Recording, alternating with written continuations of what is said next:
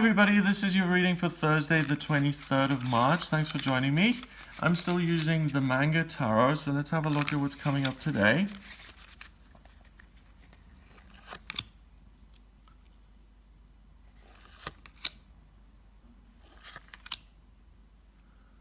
Okay, so we have the Two of Wands, the Knight of Cups, and then we have the World. The Two of Wands is a doorway, it's a gate.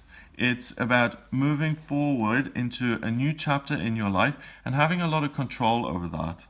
And really um, holding the world in your hand, so to speak, and saying, This is my decision, this is what I want to do. This is the way I want the world to be, and that's the direction I'm moving in. So it's very much about being able to control what's going on, making choices for yourself, and being independent. The next card that we have is the Knight of Cups. And the Knight of Cups is extreme in a sense in that he only sees the emotional inner world as the reality of what is. So his feelings are everything. If he feels something positive, then life and the universe is positive. If he feels something negative, then everything is negative. So there's no kind of middle ground here. There's no comfort and ease with the Knight of Cups. He's completely governed and ruled by his emotions. And combined with the Two of Wands, it says that you're very likely to make a decision here based on your feelings. And if you only decide on um, urgent feelings, then you're going to be going from one self-induced crisis to another self-induced crisis because your feelings will always change. You know, they're like the winds. Sometimes they're blowing from the west, sometimes from the east. You can't base your life exclusively on your feelings that come up and that kind of come from the ego in the sense that they feel urgent and you have to do something about them now. And if you make long-term decisions then it's it's kind of this never-ending story of constantly having to make changes and never being satisfied. The answer on this day is not to listen to your kind of surface level, mind level emotions, which are extreme and urgent and which force you to kind of walk through all these different doorways.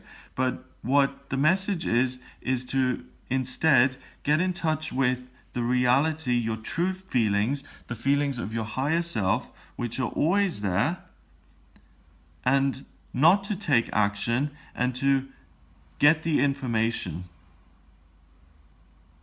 So there's it's unclear on this day and one of the things you're going to have to contend with on this day is whether the things that you're feeling are really genuine and truthful higher self guidance and emotions or they are just ego messages that urge you and force you to make never ending changes to your life in this futile search for happiness. And that's that's difficult to discern. Okay, so it's much better to involve your guides, your angels, to meditate, to uh, connect with your higher self, to ask for help from God, the universe, the creator, and to really say, I need to have the wisdom to differentiate between what is ego and what is true guidance and what is a true message here on this day. That in itself can be challenging, so I would avoid making huge decisions on this day. I would focus on hammering out the actual emotional details here and getting to a place of certainty before I leave the country or buy the house or do whatever it is that I feel is so important.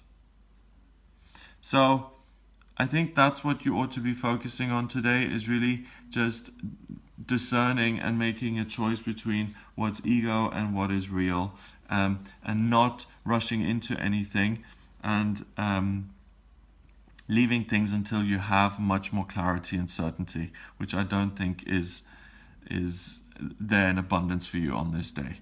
Number wise, we've got 2 and 1 is 3. 3 and 21 is 24.